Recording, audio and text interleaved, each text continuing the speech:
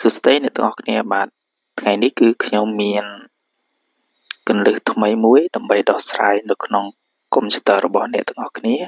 ទាក់ទងទៅនឹង Windows 10ឬក៏ Windows 11ឬក៏ Windows ផ្សេងផ្សេងទៀតបាទដូចក្នុងកុំព្យូទ័ររបស់ខ្ញុំនេះគឺវាជាប់កម្មវិធី Save Mode អ្នកទាំងអស់គ្នាអាចមើលទៅគឺកន្លែងនេះគឺមាន Save Mode ហើយកន្លែងនេះក៏មាន Save Mode ដូចគ្នាដែរ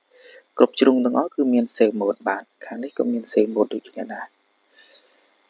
បាទដើម្បីដោះកម្មវិធី Save Mode នេះចេញតើយើងត្រូវធ្វើដូចម្ដេចតោះប្រសិនបើអ្នកទាំងអស់គ្នាប្រើប្រាស់ Windows 11គឺអ្នកទាំងអស់គ្នាចូលត្រង់កន្លែង Start នឹងមកបាទបាទគឺអ្នកទាំងអស់គ្នាចុច Start ហើយអ្នកទាំងអស់គ្នាយកពាក្យថា Run ឬក៏អ្នកទាំងអស់គ្នាអាចវាយនៅលើ keyboard ដោយចុច Windows អក្សរ A នៅពេលដែលអ្នកទាំងអស់គ្នាចុច run ហើយគឺអ្នកទាំងអស់គ្នាវាពាក្យនេះពាក្យថា ms config នៅពេលនោះអ្នកទាំងអស់គ្នាចុច OK មកបាទចុច OK នៅពេលដែលចុច OK ហើយវាចេញតម្រងបែបនេះអ្នកទាំងអស់គ្នាចុចត្រង់កន្លែង boot នេះមកនេះ boot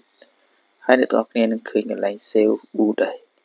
ដល់មកគឺអ្នកទាំងអស់គ្នាដោះ tick វាមួយមកបាទបន្ទាប់មកអ្នកទាំងអស់គ្នាចុច apply បន្ទាប់ពីចុច apply អ្នកទាំងអស់គ្នាចុច OK នៅពេលនោះវាឲ្យយើង restart មានន័យថា restart ម៉ាស៊ីនយើងសិនគឺយើងអាច restart បាន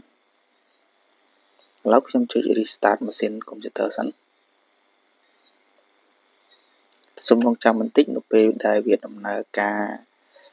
មកវិញនៅពេលដែលបន្ទាប់ពី restart ហើយ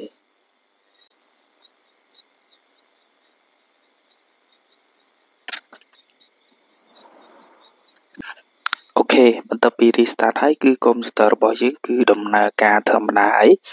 គឺយើងអាចប្រើប្រាស់កម្មវិធីនេះ ដោយពុំចាំបាច់ដោយពុំចាំបាច់មានកម្មវិធី Save Mode ទៀតឡើយបាទអរគុណច្រើនទាក់ទងទៅនឹងការដោះស្រាយនៅបញ្ហាជាប់កម្មវិធី Save Mode នៅក្នុង Windows 10ឬក៏ Windows 11គឺមានតែប៉ុណ្្នឹងបាទសូមអរគុណសូមជម្រាបលាបាយបាយ